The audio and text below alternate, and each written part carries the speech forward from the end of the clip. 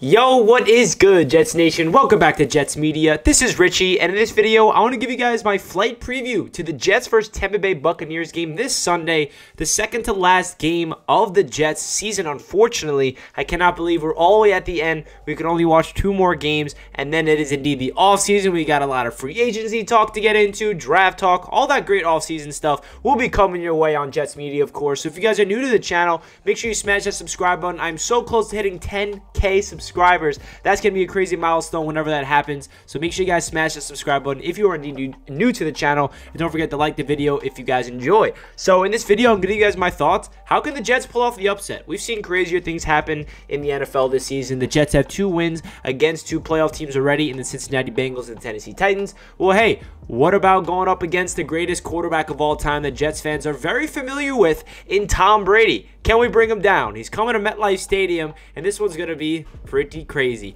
Before I hop into the video, we're going to hear a quick word from the sponsor of Jets Media, DraftKings Sportsbook. Before we go any further on today's video, I gotta give a quick shout out to the sponsor of Jets Media, DraftKings. It won't be long until you can place bets right here in New York on your favorite sports on the top rated DraftKings Sportsbook app. You know DraftKings by their daily fantasy contests. Well, now their expertise is gonna be in sports betting so that fans everywhere can get in on the action. DraftKings Sportsbook offers everything you would want in a sports betting app from player props to same game parlays, they have it all. In just a short time, you'll be able to place bets on your favorite sports from the comfort of your own home with one of America's top rated sportsbook apps, DraftKings Sportsbook. DraftKings is safe, secure, and reliable. And best of all, you can withdraw and deposit your cash whenever you want. So check out DraftKings and use my promo code to let them know that I sent you. That's promo code JETSMedia. Once again, that's promo code J E T S Media. DraftKings Sportsbook coming soon to New York State.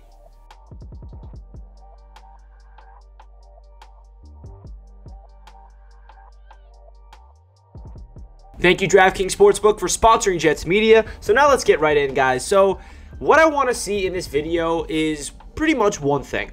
Zach Wilson continuing his progression because that's all what this season really matters to me personally, just in terms of one individual player, because he's the most important piece to this team, the quarterback spot. When was the last time the Jets had a franchise quarterback? You guys know the answer to that one. A long, long time. We've been waiting for so long, and Zach Wilson has not shown to be a franchise quarterback yet. I think it's too early to say he is one, or it's too early to say he's not one. We're still trying to figure out what Zach Wilson's been doing. Very good sign about Zach Wilson is he is definitely progressing, and that's all we want to see at the end of the season. Three straight games with no interceptions. Uh, he's finding rhythm within the offense. He's actually using his legs, which is something that he had to do all season long, and I was really frustrated that he wasn't taking advantage of his athleticism, and he's a dual threat quarterback in college. Why is it not translating to the NFL? Well, here we are today. Mike LaFleur, the offensive coordinator, actually challenged Zach Wilson. He told him, listen, you're really passing up on a lot of opportunities to pick up chunk yardage on the ground. You have the ability, you have the athleticism, athleticism, pick up some yards with your legs. And now, whenever it's man coverage and there's some field wide open, Zach Wilson's finally doing that. He's coming off rushing for 91 yards and a touchdown last week on the ground, and I want to see him do the same. I don't expect him to have a 52 yard touchdown run. I don't expect him to have 90 yards on the ground, but I want to see him at least have five rushing attempts, pick up the first down with your legs. Try not to be do anything crazy. We obviously don't want Zach to rely on that because we don't want him getting injured. But the good thing about Zach Wilson so far this season in terms of his mobility, I don't think he's gotten hit yet. I feel like every time he runs, he's either going out of bounds or he slides, and that's what we want to see from Zach. Make sure that you don't take a lot of hits if you're going to be a dual threat quarterback because that's not what we want. But I'm happy that he's taking advantage of that, and that also comes with him getting really comfortable in the league today. Now um, he's getting more confidence within himself. He's got he's getting a swagger back. He feels he's playing more freely, and I feel like in the beginning of the season we didn't see Zach Wilson play freely. He played a little you know robotic a little bit. He was thinking too much, and he didn't have you know the confidence in himself to pick up yards on the on the ground. And now we're seeing Zach Wilson do just that. And when it comes to throwing the ball, he's been down his top three receivers for the past couple of games, so he's not been able to find anybody down the field with consistency. Braxton Berrios is his favorite wide receiver, and Denzel Mims has no use to this team. Keelan Cole, not really doing too much. He's dropping passes on third down. Jeff Smith dropping passes. So hopefully we can get Elijah Moore back this week. I don't know if it's going to happen. He's 50 50 for this game, but it'll be a big time plus if he's there. But I just want to see Zach Wilson play, you know, turnover free football, protect the ball, pick up uh, some yards with the legs, and uh, stay within the pocket, make some plays with your arm. We saw the ability to escape pressure, extend plays, roll to your right, roll to your left. Let's see him step up into the pocket, make those timing throws because he's also been showing signs of that as well, staying in the pocket, converting on third down to Braxton Berrios. He's had a lot of great flashes in the past couple of weeks that should give Jets fans a lot of excitement heading into next season for Zach Wilson's progression. So yeah, he's going up against Todd Bowles' defense, and I don't really know what to expect with Zach Wilson going up against this defense. They're banged up as hell, but I still feel like Zach Wilson has to show signs of progression to give us some optimism heading into the offseason. And when it comes to the Jets defense, I'm sorry guys, I'm an optimistic guy.